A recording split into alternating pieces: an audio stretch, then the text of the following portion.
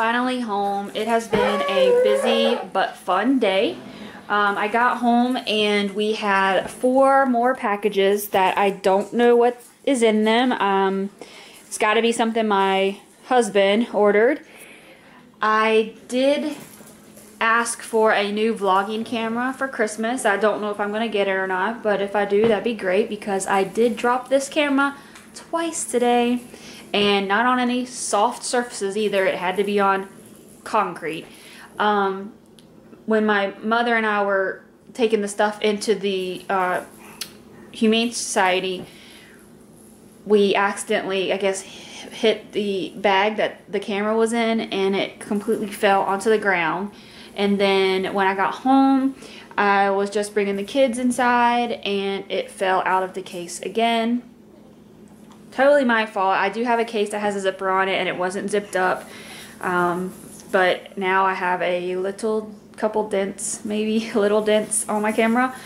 So I feel really bad, and uh, but at least the camera still works. I also came into the house and my refrigerator door was open. So I don't know if I did that or if my husband came um, after work and he stopped by the house and maybe left it open. I'm hoping that's the case and it wasn't open all day long.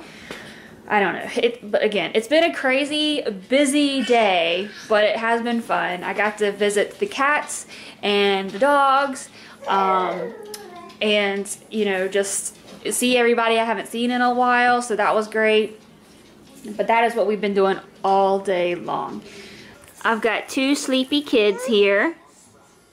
They did great though, didn't you? Did y'all have fun too? And they got to pet some of the animals. Um, but yeah, for being in their car seat most of the day, um, they did really well. And so it's only like 6.30 and they're still, they're still doing pretty good. I got to get ready to feed them some food and get their baths in and get them ready for bed. Um, so that's probably it for this evening. I, uh, my husband does have to DJ tonight, so he is out doing that now. So he won't be back until, I don't think he gets off of work until probably around 11. So he won't get back home till late tonight. We'll probably already be in bed. Um, and my mother-in-law was supposed to come by tonight to help, you know, clean up the downstairs a little bit this weekend for the Christmas party. But she has to go babysit my nephew because his mother, my sister-in-law, is very sick. She's been throwing up and um, so she must have gotten something that's kind of going around. And so I don't think my mother-in-law is going to be coming around us this weekend just because we don't want to give, you know, get the baby sick or us sick. Um, so anyway, we have uh, found some other friends that are going to come help us clean up the downstairs. So hopefully we'll get that done this weekend. But yeah, so well, we will see you guys tomorrow. Bye.